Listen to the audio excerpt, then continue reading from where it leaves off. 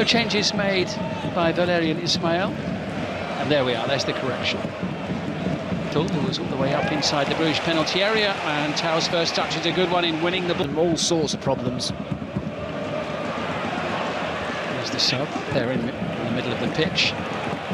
Here's Tau, lovely ball.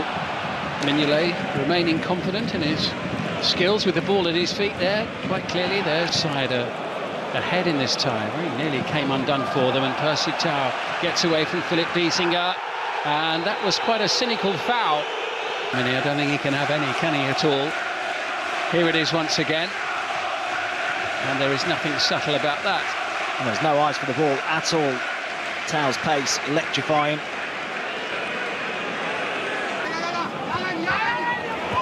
Tau, lovely turn.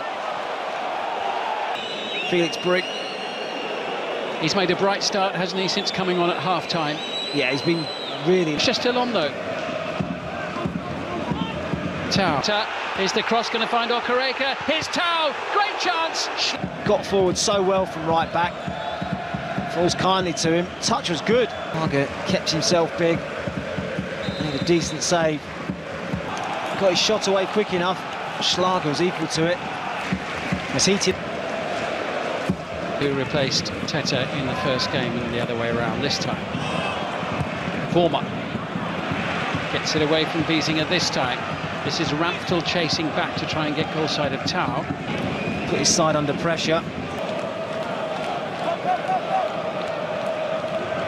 One good chance. Cleared the decks to try and get through. It almost falls to Tau. Tau could be through here. Great chance. Oh! Calls in. It's the chance. But his pace just gets him away. Again, Schlager makes a brilliant save. And he is wondering, as is everybody else in the stadium. Saving tackle. I thought Diatta was through. Yeah. Spreading the play, Percy Tau. He's got some support if needed. Little exchange with Vanaken.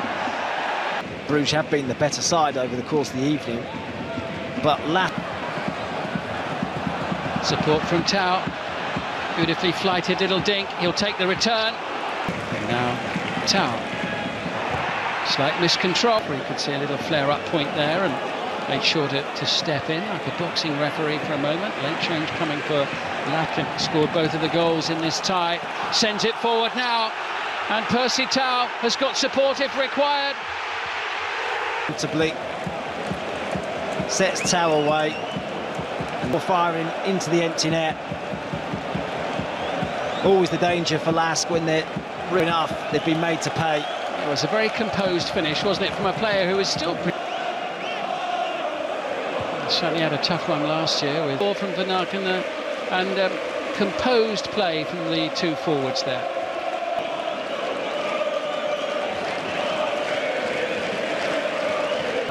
On the canvas, and it might get worse for them here. Percy Tau